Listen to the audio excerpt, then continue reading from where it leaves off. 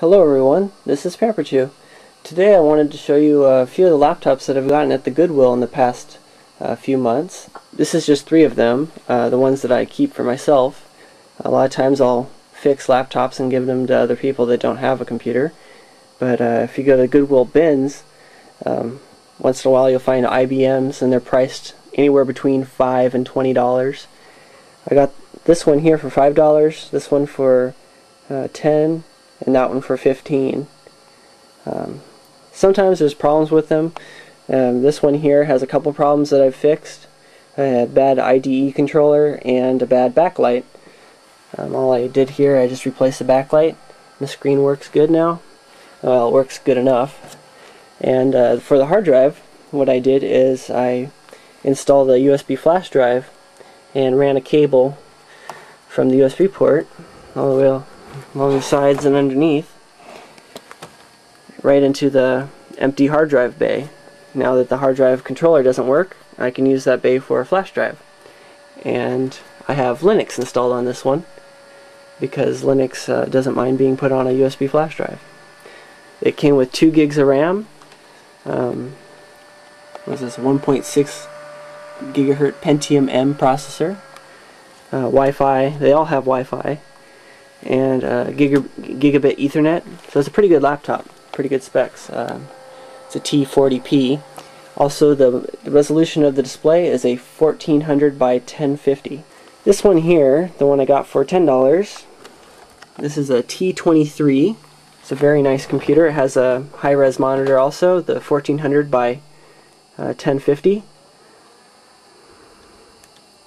Go to properties here. This has 1 gig of memory no, 1.2 gigahertz Pentium 3 processor. So it's uh, also a very nice computer.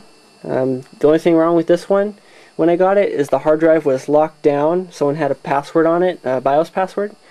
And the way I fixed it was I just installed a different hard drive into it and it seemed to work just fine. So the hard drive that came out of this went to another laptop. And no problem there.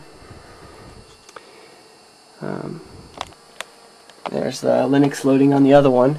I use uh, OpenSUSE. Kind of a neat thing I wanted to show on these uh, high-res displays. You have so much more room now. Go to settings, there's the resolution of the monitor, 1400 by 1050. So it does look really good. And these two have that high-res display. This one has a perfect display. The backlight's still good and very bright. Um, so there wasn't much wrong with this one when I got it. And this one here, the one I got for $5, this is a uh, T30, IBM T30. And all I had wrong with it was, well, the keyboard was missing a couple keys. And uh, I think it needed a hard drive when I got it. It was only $5. So uh, I, put a, I put a new laptop hard drive in it and um, installed Windows. Now they all come with licenses. This one had an XP Professional license, this had a Windows 2000 license, this had XP Professional. And because I buy these so often, sometimes they don't work. I just I save the licenses and then for times where this one like this one didn't have an XP Professional license, um, I just pulled one out of my uh, box of extra laptop parts and found a license that of work on this one. XP Professional and uh, when you go to install Windows you just type in the, the license key and it'll work just fine. As long as you have it installed on one computer. So each one has its own license. Um, but this one here for five bucks um, it's a 2 gigahertz Pentium 4 with 1 gig of RAM. And uh, keys that are missing the function key and Z key. So not a big deal. Now the the resolution on this monitor is not as good. It's only a 1024 by 768. And you can see the difference in resolution. 1024 by 768 compared to a um, 1400 by 1050. You get a lot more desktop space on those. And they're really nice to work with because the, the text is so clear. But a $5 computer, it's really nice. IBMs, they last forever and they're easy to fix. Uh, really cool feature with all these, they have a track point which is a really good mouse. It's good on your wrist and it's a lot quicker than a trackpad. You can disable the trackpads that come with some of them. I always disable them in the BIOS because they're pretty useless. Another cool feature is every single IBM has a nightlight. You uh, hold down function and you hit the nightlight key up in the top corner and the little LED comes on. And uh, if you're using your laptop in the dark, it lights up your keyboard. This one has it too. And there's the nightlight on the other one. It's a really neat feature. Now, a lot of times the batteries on these are no good just because they're age. But um, this one here, this was built in 2006, so it still has a pretty good battery, has a four-hour life.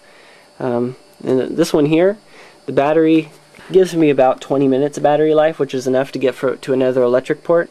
But um, you can buy brand new um, batteries for these things off eBay, around $30 for a long life battery. I do need to replace these two, but they're so cheap to replace, and I don't really need a, a battery right now. Because um, you know wherever I'm working, I can plug it in. There's the DVD-ROM and the IR port.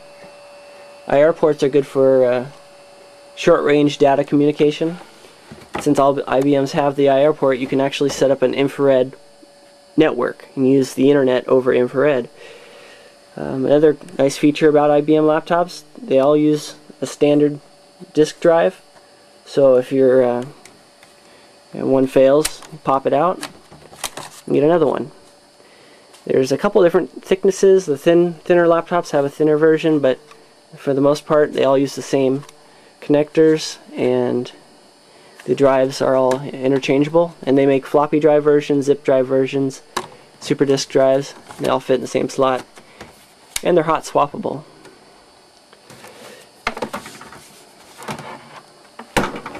There's the disk drive on this one. Just pull that little tab, that pops out, and the drive comes out.